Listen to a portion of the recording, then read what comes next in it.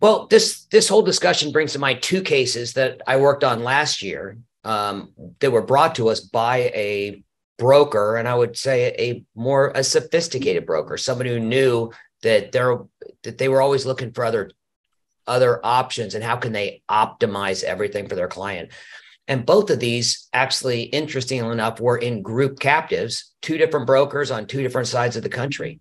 Um, one was in staffing, one was in home healthcare.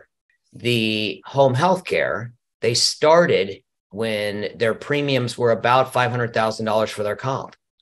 And their business had grown through COVID, through acquisitions, other things to the point where they were paying just for their workers' comp alone a couple million dollars in premium. So they were on the larger end of their group captive. Well, we went through, we did an analysis and figured out that they could actually use the same fronting carrier and the cost for the internal cost for the insurance was going to be less and the, the claims administration was going to be less. So they kept a certain amount of retention which was the same as they were keeping in the group captive and their aggregate stop loss was actually less. Um, so that worked out great. And then that's one where we were able to the, they had one specific just the workers comp but they were able to actually use that and we were able to get the general liability and some of the other policies. So what was just a small level of commission ended up being in the 450 to 500,000 dollar range is what the the brokerage commissions ended up paying.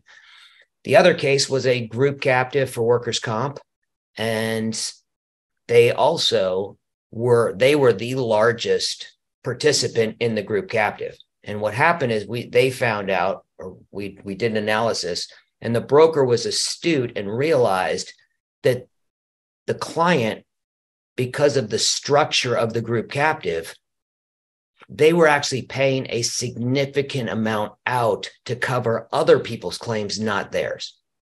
So that's where he, they brought it and said, you know, can you analyze this and see if there's a different solution, if there's a better way to do this? And we went back and again used the same exact carrier, and the carrier didn't want to see him go because their loss ratio for workers' comp was in the, depending on the year, seven to 15% range, but they were paying out more like 35, 40% in claims because they were supplementing the claims of uh, the other people in the program.